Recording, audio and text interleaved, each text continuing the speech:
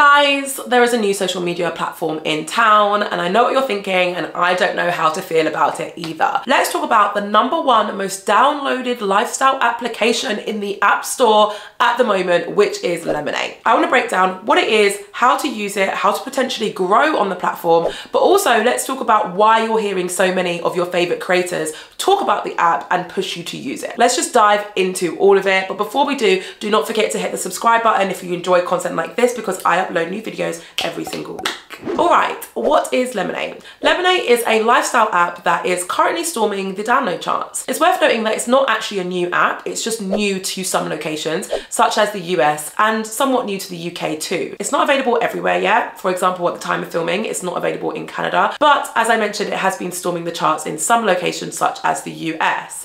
Now, there's a few things that we just need to just flag straight away when it comes to this app. The first thing is that it is owned by ByteDance.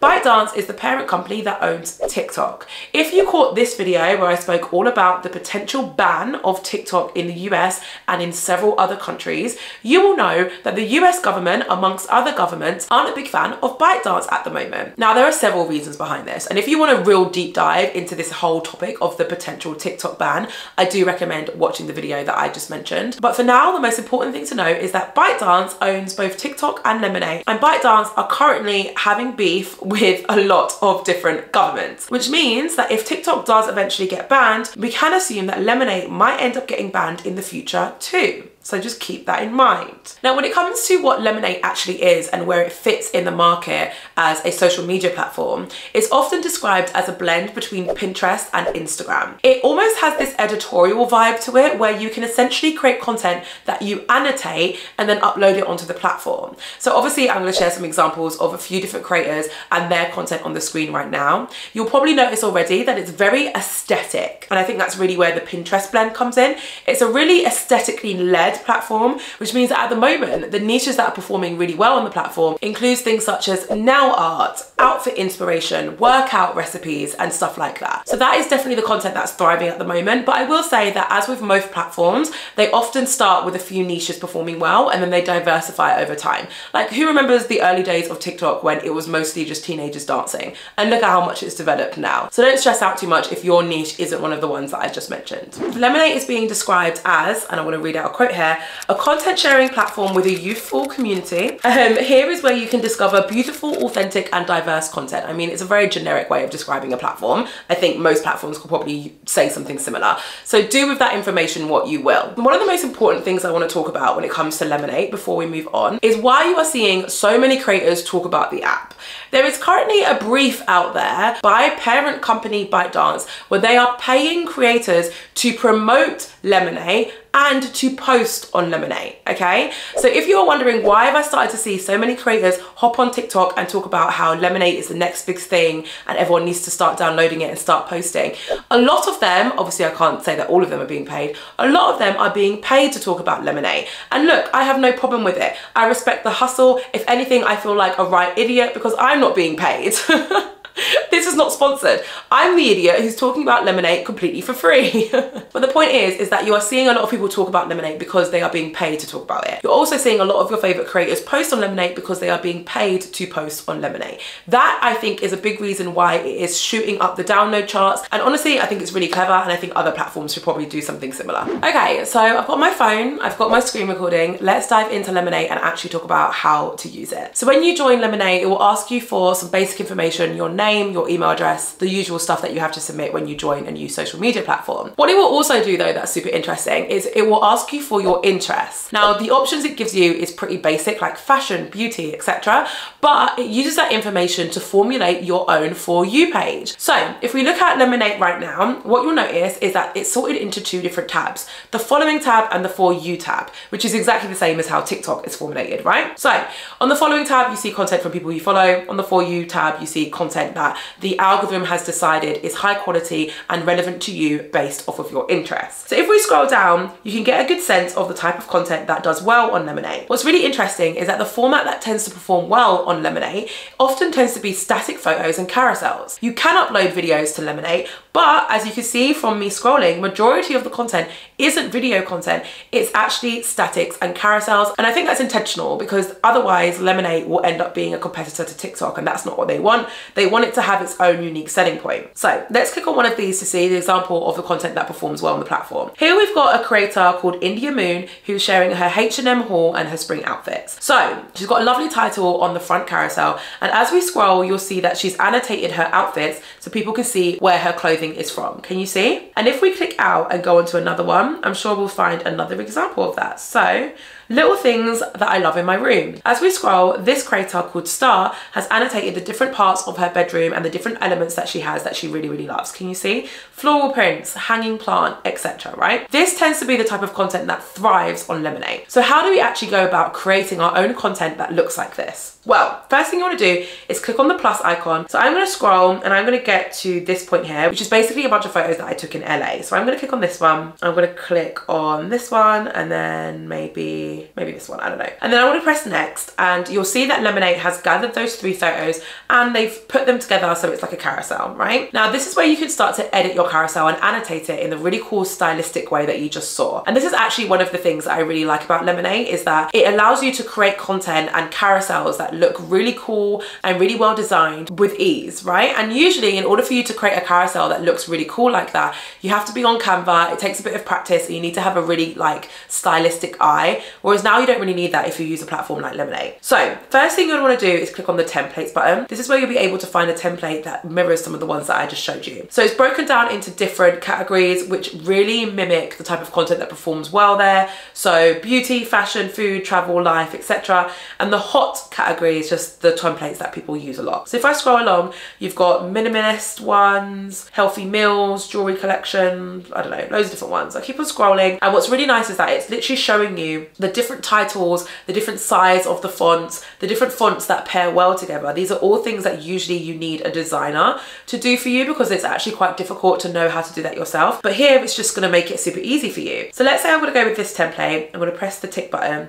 To change the text, you just click on it and then you'll be able to edit it straight away. So you'll edit the text here and I'll say Los Angeles guide and click enter. And also it will give you an option to change the different text down here as well. So um, the templates the fonts you can customize it. Click the tick button and it will add to your homepage right? So that is my first slide. And you could do this for every slide. So let's say I'm doing a guide for Los Angeles. So maybe I want to add some of the annotations that we just saw. What I would need to do is click on the text button click on label and it will give me a few different formats for me to annotate my content. So let's say I'm going to click this format here and I'm going to annotate this Rodeo Drive sign. So I'm going to click on that. I'm going to change this text from earrings to rodeo, Rod rodeo or rodeo. I don't know, let me know in the comments. Um, drive. So this is me annotating my photos and me giving people a I might actually have to move that so you can see it. There you go. Giving people a breakdown of where you should go when you're in LA, right? Because it's my LA guide. So you can carry on using the templates and the text buttons to annotate your content. There's also a retouch button which allows you to do things like adjust the different elements of your photo, which is always really useful. And then also add some filters as well. Again, they're broken down into categories. So let's say I click on travel because that's kind of what this carousel is about. I can click on some of these here and it will add a filter to my content. If you double click on it again, you can also adjust the filter if you don't want it at the maximum amount. So for this one, for example, I don't want it that bright. So maybe I'm gonna do it halfway and click the tick button again and it will save. Other things you can do is add hashtags. And as you'll see here, that it's gonna suggest a few hashtags for you and show you how popular those hashtags are. There's also a little retouch button here, which will automatically retouch your content. There's a crop button here, which does what it says on the tin. You can crop and rotate your content as well. A sticker button is very similar to the stickers that you'll see on things like your Instagram stories. And very interestingly, there's a cutout section which mimics another application called Pinterest Shuffles. I'm gonna link link to a video up here where I talk about Pinterest shuffles in more detail if you want more info, but it's very similar to what you can do on that app. And basically what it allows you to do is cut out different elements of the photo and you can superimpose them onto different backgrounds. So let's say I want to cut out myself. I would click smart cut out and straight away it's identified myself as the thing that I might want to cut out, right? So I'm going to click smart cut out and I'm going to click this little button here. And can you see it's cut myself out and it basically allows me to superimpose myself onto either a colored background or I can even add a background from my photo library and superimpose myself there as well. If you want inspiration for different ways that people can use this, I do really recommend checking out Pinterest Shuffles. I'll really quickly show you now what it will look like because Pinterest Shuffles is basically a version of that on like steroids.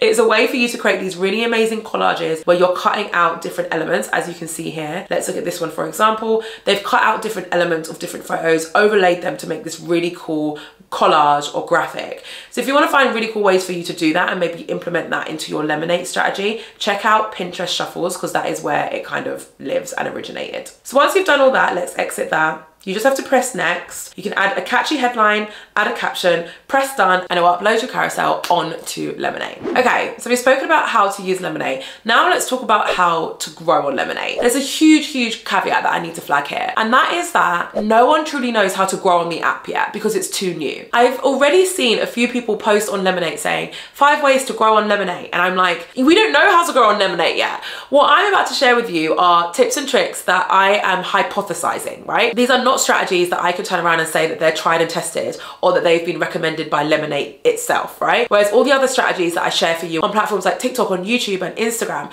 those are tried and tested strategies. There are no tried and tested strategies yet on Lemon8. So these are all me hypothesizing what I think will help you grow based on my experience, okay? So the first way that you will potentially be able to grow on Lemon8 is by cross promotion. Cross promotion basically involves you promoting another social media app on a different social media app. So some news outlets have already reported that the creators who, who are doing well on Lemon8 are the ones that are already performing well on platforms like TikTok. And this is because they have a huge existing audience elsewhere and they've used that audience and used that platform to actually more followers on their Lemon8 app. Absolutely no hate in the game. I'm a huge advocate for cross promotion. So why don't you start to think about how you can promote your Lemon8 app on existing platforms that you already have. For example, talking about it, including it in your link in bio. Really simple, easy ways for you to let your audience know that you are active on Lemon8, which will help drive more followers on that app. The other method that I'm pretty certain will help you grow, and I'm sure you can guess what this is, is to upload content consistently. If you're wondering what consistency might look like on a platform like Lemon8, I believe believe that consistency on Lemon8 will involve you uploading two to three posts per week. The reason why I think that is because as we already know, ByteDance, who own Lemon8, are paying creators to promote the platform and paying creators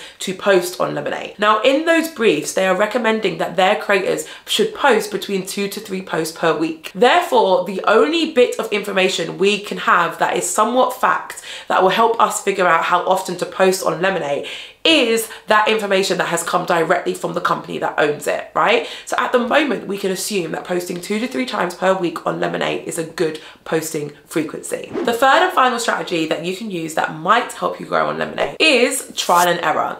We do not know what is going to thrive on this platform yet, and I've yet to see content that's gone really viral. So with that in mind, it's a great opportunity for you to get started on the app. For sure, this is always a prime time to get started on a social media app, but also it's a great opportunity for you to really explore with different content types, formats, maybe even niches. You don't have to have the same niche on Lemon8 that you have on another platform. If you've always wanted to create fashion content, maybe now's your time to explore that on a platform where you know fashion content performs well, okay? Okay, so please let me know in the comments what you think about Lemon8. Let me know if you've tried it, if you're gonna try it. Just tell me what you think because I really, I need to know, okay? I hope you found this useful. Please don't forget to like this video, especially if you want more content like this from me specifically about Lemon8. It helps me know that this is something that you're actually interested in. If you feel like hanging around, I recommend watching this video. It is all about the social media growth tips that no one tells you, but that everyone desperately needs to know. Thank you so much for watching. As always, I can't wait to see you in my next video.